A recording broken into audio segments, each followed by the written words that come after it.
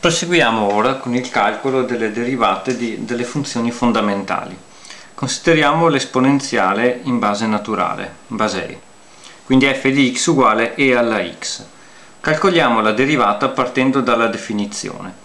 Dovremo prendere il limite per h che tende a 0 di e alla x più h, ossia f di x più h in generale, meno e alla x, tutto quanto fratto h possiamo raccogliere al numeratore e alla x per le proprietà delle potenze e alla x più h significa e alla x per e alla h.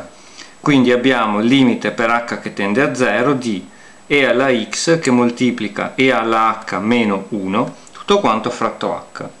Il risultato è e alla x perché ricordiamo che vale il limite notevole limite per h che tende a 0 di e alla h meno 1 fratto h uguale 1. Ricordiamo che le derivate, meno nella loro definizione, sono limiti e quindi dimostrare le derivate dimostrare quanto vale la derivata di una funzione, magari una funzione semplice che si possa fare tramite la definizione, spesso richiede la conoscenza dei limiti notevoli. Vediamo la funzione inversa dell'esponenziale, ossia il logaritmo in base e, quindi logaritmo naturale, ln di x. Quindi fx uguale a ln di x. f' di x sarà il limite per h che tende a 0 di logaritmo di x più h meno logaritmo di x tutto quanto fratto h.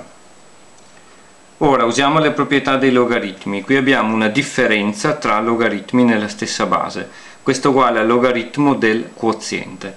Quindi il numeratore può essere scritto come logaritmo di x più h fratto x. Quindi abbiamo allora il limite per h che tende a 0 di logaritmo di x più h fratto x, tutto quanto fratto h. Scomponiamo eh, mettendo due frazioni anziché tenere il denominatore comune, quindi abbiamo il limite per h che tende a 0 di logaritmo di x fratto x, quindi 1, più h fratto x, tutto quanto fratto h. Ora utilizziamo un limite notevole. Ricordiamo che vale questo limite notevole. Limite per y che tende a 0 di logaritmo di 1 più y fratto y uguale 1. Qui siamo nello stesso caso, però la nostra variabile che tende a 0 è h fratto x, mentre a denominatore abbiamo solo h. Allora usiamo un artificio piuttosto comune che consiste nel moltiplicare e nel dividere in modo opportuno per una stessa quantità.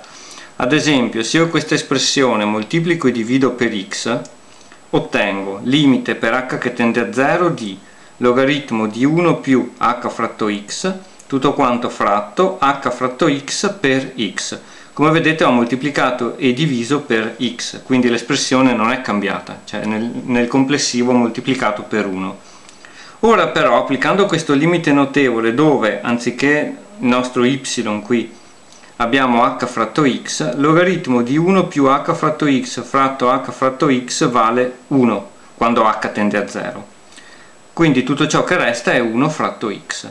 Ricapitolando la derivata di logaritmo naturale di x è 1 fratto x.